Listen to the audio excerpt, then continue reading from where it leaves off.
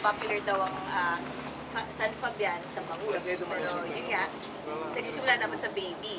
Ano bang proseso ng ah, cycle ng isang bangus?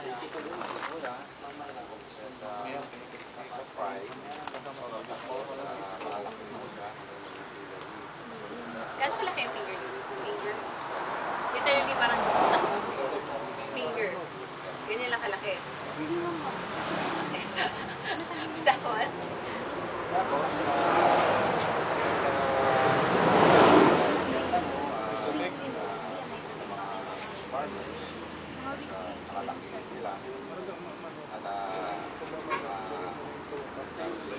yun yung business nila ng bangus.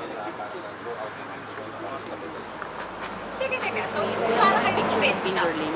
Ganon. Kasi di ba? Kasi sa iba yung nag-aalaga kayong na ng ah, alaga. Tulad ng aso, Ah. yung malalaking bangus na. Meron, ma'am. si- Sila na yung araw-araw pinapakain. Opo. Tapos, pag malaki na, doon na ibibenta. Right.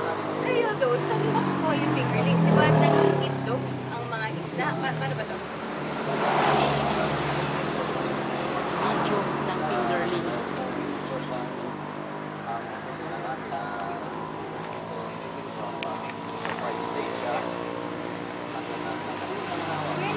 Ang weirdo, Sir Rene. So, parang bawat stage ng pagpapalaki ng isang bangus, hati-hati. Iba't ibang negosyo. Parang sa akin, parang isa, bangus na nanganak. Nangingitlog. Tapos pag walang itlog, kayo yung taga-hatch hanggang fingerling.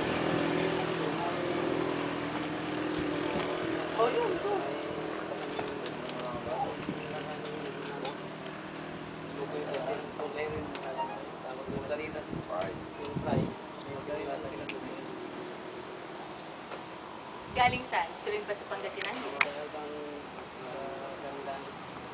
Okay. Tapos, kaya lang sumasarap dahil siguro iba yung tubig dito sa Pangasinan. Ganon. Yun yung ibang laking Pangasinan.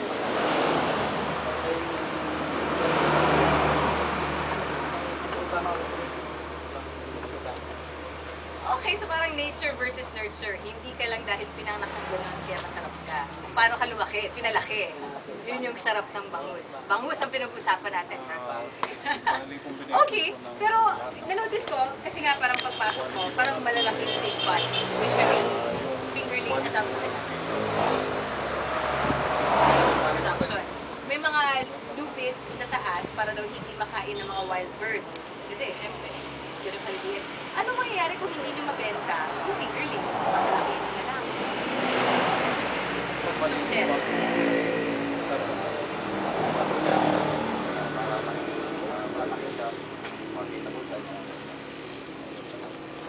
Paano po ang pagbili ng, ng fingerlings? Uh, by the kilo? Isang dosena? per piece? Yung mga farmers, yung mga farmers high tide, sa basa ng tubig. Kapag low tide, yung mga. So, ang maganda dyan, kung sabihin mo,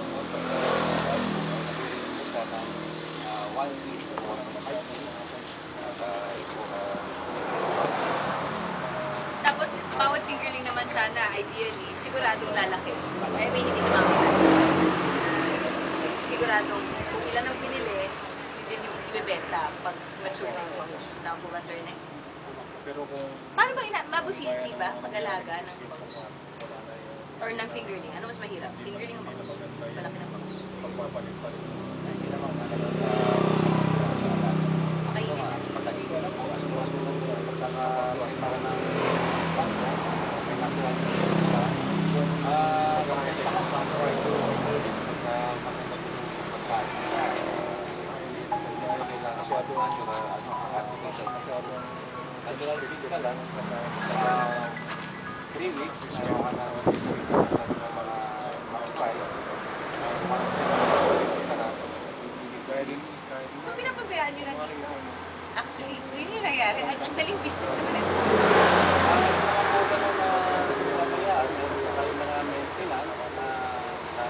Linilinis nyo yung mga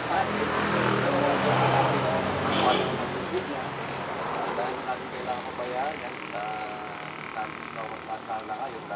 Mangyari nga doon ito.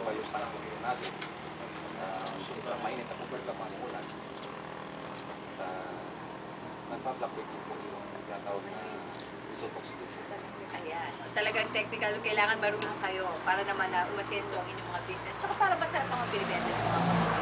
So uh, if you're interested in trying out uh, bangus kind of business or fish pond, uh, paano po ba makakakuha ng fingerling sa inyo, Sir Rene? May mga detalye, telephone number po, address ko dito. Sa ngayon, lalo po kami naka nalagay dyan na ano yung tapili na kasulat yung mga number, contact numbers namin, saka yung mga yung available na fingerlings na dapat nilang bilhin. Thank you very much, Sir Rene, Sir Roland. And of course, uh, more to come here in San Fabian, Pangasinan sa pagbabalik po ng Chika.